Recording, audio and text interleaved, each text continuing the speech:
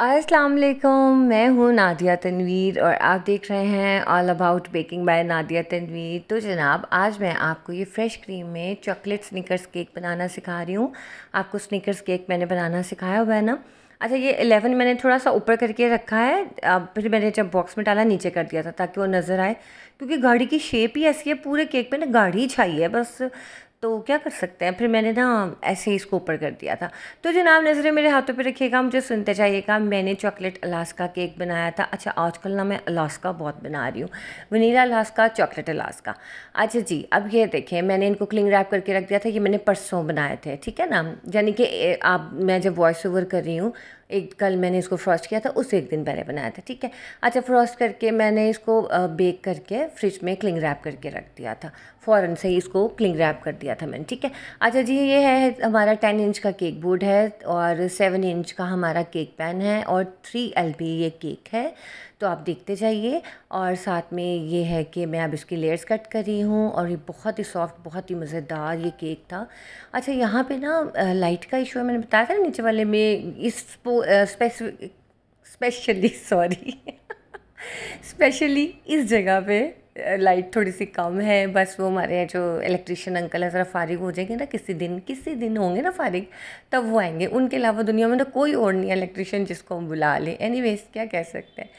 अच्छा जी, अब ये मैंने इस पर फज फिल किया। पहले मैंने ना इसको ऑन करना ही मैं भूल गई थी। खैर, ये फ़ज मैंने आपको सिखाया, मैंने क्या किया फ़ज का कलर आपको क्यों लाइट लग रहा है कि मैंने फ़ज को विप कर दिया था? विप से मुराद ये है कि वो बहुत ज़्यादा सॉफ्ट था। मैंने कहा, चलो ज़रा विप करते हैं ना, थोड़ा सा हार्ड हो जाता है। थोड़ा सा होता है फ़ज कभी भी हार्ड नहीं होता, लेकिन थोड़ा सा स्टेबल हो जाता है। अच्छा जी, इसके ऊपर मैंने जो है क्या कहते हैं इसके अंदर मैंने कैरमल सॉस जो था पीनट वाला मैंने आपको बनाना सिखाया था। परेशानी होना, मैं लिंक डाल दूँगी, ठीक है? वो मैंने फ़िल किया था, उसके ऊपर मैंने खूब सारी पीनट्स डाली ताकि बहुत ही अच्छा पीनट का टेस्ट आए। ठीक हो क्या अच्छा जी, अब ये देखिए फज मैं फैला रही हूँ और ये बस इसको मैंने थोड़ा सा चेंज करना चाहा क्योंकि ब्लैक क्रीम और ब्लैक ही सारा कुछ ना बड़ा ही प्रोमिनेंट होता है फिर वो। तो मैंने इसको थोड़ा सा हमने फज को जो है वो कर दिया थोड़ा सा हमने बीट कर दिया विप कर दिया। अब ये देखिए, ये वाला जो हमारा था कैरमल पीनट वाला, उसमें आप देखो कि ऑलरेडी पीनट्स थी, लेकिन मैंने इसके अंदर और डाली थी। ठीक है क्रश करके डालनी है मोटे मोटे नहीं डालनी, वरना केक की लेयर्स कट नहीं होंगी, वो क्या होगा, आपका केक टूटने लग जाएगा। क्योंकि फिर अगर कहीं भी आएगी पीनट तो वो नाइफ़ के साथ नीचे कट नहीं होगी, ठीक है? तो जनाब ये साथ साथ मैं आपको दिखाती जा रही हूँ, मैं इसलिए दिखा रही हूँ कि जिन लोगों ने अभी मुझे ज्वाइन किया है, जिन्होंने पहले नहीं देखा हुआ, उनके लिए ज़रा आसानी हो जाए कि मैं किस तरह से इसको कर रही हूँ। अच्छा अलास्का को ज़्यादा शौक नहीं करते हैं, लेकिन मैं फिर भी कर लेती हूँ, थोड़ा बहुत हल्का। जैसे आप देख रहे हो, वरना मैं हमेशा स्पून से करती हूँ, जब मैं दूसरे वाले केक्स बनाती हूँ ना बहुत ज़्यादा जो होते हैं फ्लफ़ी केक्स होते हैं, लेकिन जो इस तरह के मोइस्ट केक होते हैं, उनको हमेशा ब्रश की मदद से आप सोख करो, या वो जो सीरप वाली बॉटल होती है ना सोकिंग बॉटल जिसके तीन बीच में ऐसे होल्स होते हैं, उसके साथ आप करें तो वो और बेहतर रहता है। अच्छा इतनी चीज़ें आ जाती हैं, लेकिन भाई वो बॉटल नहीं आती। तो जनाब, आपको अच्छी लगी कल की वीडियो। बहुत शुक्रिया। और मैंने मेरे क्लाइंट ने तस्वीरें भी मुझे भेजी। मुझे कम्युनिटी पोस्ट पे लगाने का टाइम नहीं मिला। आज मेरे गेस्ट आने थे तो बहुत ज़्यादा मैं बिज़ी थी इस वजह से। अच्छा जी, अब ये साथ साथ नहीं सीरप नीचे गिर जाता, हम इसको सही सही कर रहे हैं।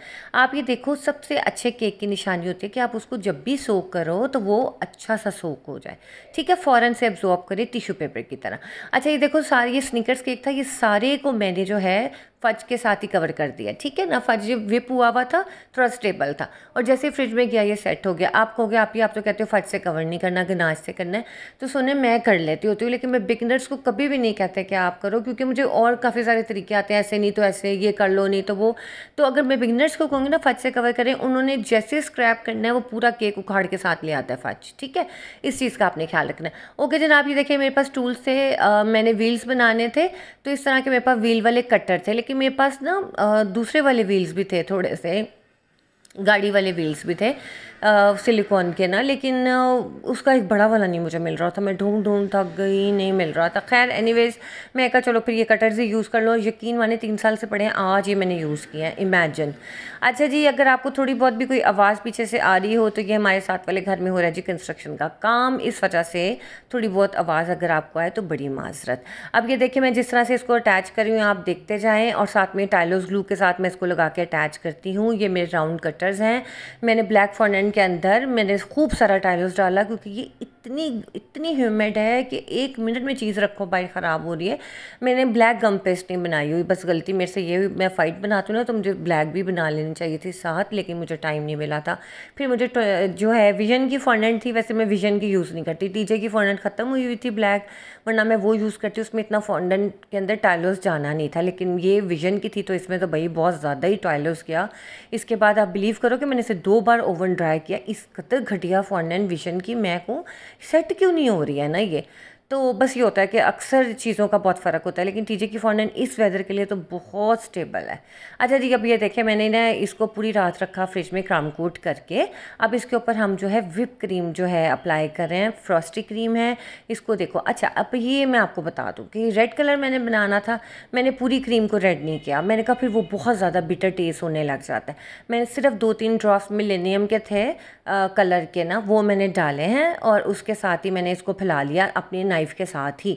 यानी कि मैंने बाउल के अंदर नहीं किया, ये भी एक अच्छा तरीका है कि अगर आपको लगे कि आपकी क्रीम जो है कलर डालते ही मेल्ट हो जाती है तो आप इस तरह से भी अप्लाई कर सकते हो। वैसे बिलीव करें आप, मुझे इतना अर्सा हो गया है काम करते हुए। मेरी कभी कलर डालने के बाद लूज़ नहीं हुई, क्योंकि मैंने हमेशा अच्छे कलर यूज़ किए हैं। मैंने विबग्योर के यूज़ किया या मैंने विल्टन के यूज़ किया मिल्किस के भी बहुत अच्छे कलर हैं।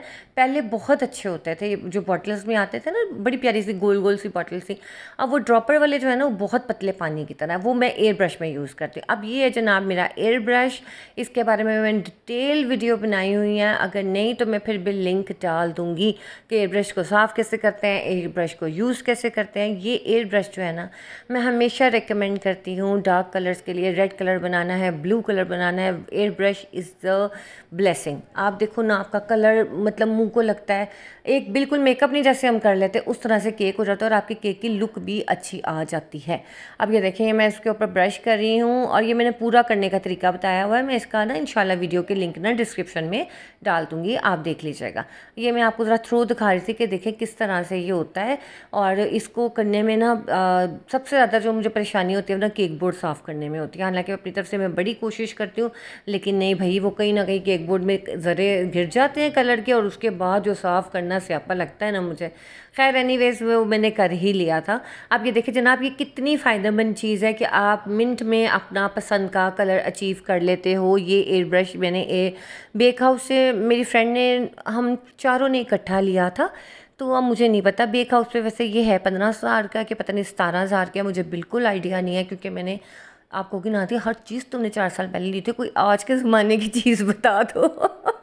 नहीं, मैंने, पता क्या, जब नया नया काम शुरू किया था, माशाल्लाह काम शुरू करते ही चल गया था अच्छा खासा तो उसमें मैंने क्या किया था, ये मैंने एक अक्लमंदी की। मैंने कोई भी पैसा घर में या किसी को होता है ना, आओ, पार्टी कर लें, आओ, इधर चले जाएँ, उधर चले जाएँ, घूम लें, फिर लें, शॉपिंग कर लें, मैंने वो बेवकूफ़ी नहीं की थी। मैंने हर हर पैसे का ना टूल ख़रीदा था, जो अब मेरे इतने काम आ रही हैं ना चीज़ें कि बस। तो ये बड़ी ज़रूरी चीज़ है कि जब आपने काम शुरू करो ना, थोड़ी इन्वेस्टमेंट होती है, आप जो भी हो, अगर तो आपको घर की तरफ़ से सपोर्ट है कि आपने घर का खर्चा नहीं चलाना तो आप अपने इन्वेस्टमेंट टूल्स पे करो जिन्होंने कभी ख़राब नहीं होना। अच्छा जी, अब ये पट्टी में लगाने लगी हूँ फंडन के ऊपर मैंने इस तरह से वाइट पट्टी के अंदर मैंने थोड़ा सा टैलोस डाला फंडन के अंदर वाइट वाली में, उसको मैंने पट्टी की तरह लगा दिया और इस तरह से मैं ये जो होता है ना क्रिस क्रॉस सा, क्या कहते हैं इसको? चेक वाला एक डिज़ाइन होता है, जो ज़्यादातर गाड़ियों में होता है, ख़ासकर फरारी में होता है। तो ये इस तरह का ना, मैं लगा रही थी। अच्छा वैसे अगर मैं लगाती ना करीब करीब बहुत टाइम लग जाना था, ठीक है? वैसे भी सेमी फॉर्नर केक था। ये मैंने अपनी मर्ज़ी से डिज़ाइन ऐड करवाया था। क्लाइंट ने जो तस्वीर भेजी थी, उसमें टायर के इंप्रेशन थे। मैंने कहा, नहीं विप क्रीम पे इस तरह से इतने ज़्यादा फॉर्नर का काम सही नहीं रहेगा, जितनी ह्यूमिड है, वो फिसल जाएगा। ठीक है, अब आप देखो एयर ब्रश कितनी काम की चीज़ है ना? अब एक ब्लेंडर क्या हुआ? ब्लेंडर नहीं कह सकते। मेरा हुआ हुआ था सिल्वर कलर ख़त्म। ओए होए, मैंने कल मंगवाना था और जब मैंने बॉटल खोली तो वो उसमें है ही कुछ नहीं। अब मैं कल इंशाल्लाह मंगवाऊँगी सिल्वर कलर तो इतना वो अच्छा आ नहीं रहा। कोई अच्छा मिल गया ना तो फिर मैं इंशाल्लाह आप लोगों से भी शेयर करूँगी, ठीक है? तो वो फिर मैंने क्या किया इसके ऊपर मैंने गोल्डन कलर ही कर दिया कि भाई व्हील्स के अंदर वैसे तो सिल्वर होता है, लेकिन मैंने गोल्डन कर दिया, ठीक हो गया। अब ये देखिए, ये मैंने कार निकलवाई थी सेवन इंच का मेरा केक था तो मैंने फाइव बाई सेवन में निकलवाई थी, पूरे केक पे आनी थी। तो मैंने जब पहले लगाई ना तो ये मैंने बिल्कुल पीछे करके लगा दी। फिर बाद में मैंने इसको ठीक किया था, क्योंकि आप जब वीडियो देखते हो ना, फिर आपको क्लियर होता है कि आपने कहाँ गलती की है। कहाँ गलती नहीं किया, ये चीज़ बड़ी इंपॉर्टेंट होती है। आपने इस चीज़ का बहुत ख्याल रखना है, ठीक है? तो जनाब, ये देखिए व्हील्स हमारे रेडी हो गए थे, वैसे अच्छे लग रहे थे। गोल्डन भी प्यारे लग रहे थे सिल्वर होते और ज़्यादा प्यारे लगते। अब ये मैंने देखो डायरेक्ट केक के ऊपर लगा दिया। अब देखें आप, जो सबसे इंपॉर्टेंट बात है आज की वीडियो में कि मैंने रेड कलर कितने अच्छे से अचीव कर लिया। मैं उसके अंदर क्रीम पे क्रीम लगाई जाती क्रीम ने पिघल के नीचे आ जाना था, वो लेदर टेंशन ये लेदर टेंशन लेकिन एयर ब्रश जो है ना लाइफ सेवर है। मैं हमेशा एयर ब्रश को रिकमेंड करती हूँ क्योंकि ये बहुत ही ईजी चीज़ है। आपको बाकी चीज़ों में इतनी मुश्किल नहीं होती है जितनी आपको कलर अचीव करने में होती है। अब आप इसमें मेरे पेज पे जाके देखो, मैंने इसमें मूंगिया रंग होता है ना डार्क ग्रीन का ऐसा रंग होता है, मैंने वो भी बनाया। मैंने डार्क ब्लू होता है ना, बिल्कुल रात जैसा, उस तरह का भी मैंने बनाया। ब्लैक मैंने बहुत केक बनाए हैं एयर ब्रश से, क्योंकि अक्सर लोगों को कह कह के थक जो कि विप क्रीम में ब्लैक कलर नहीं आता। वो नहीं इस बात को समझते, वो कहते हैं, आप में टैलेंट नहीं है, आप बना नहीं सकती। उनको कैसे बताएँ कि टैलेंट की बात नहीं है, आपके केक का टेस्ट करवा हो सकता है। बट इससे ये होता है कि आप जैसे मर्ज़ी खाओ, आपके मुँह में कोई करवाहट नहीं आती, अल्हम्दुलिल्लाह।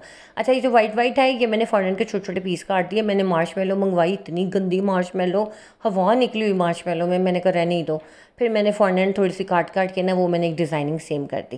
तो जनाब, आज की वीडियो कैसी लगी, ज़रूर बताइएगा दुआ में याद रखिएगा लाइक शेयर सब्सक्राइब कर लिया करें और और और मुझे सपोर्ट कर दिया करें। अल्लाह हाफिज़।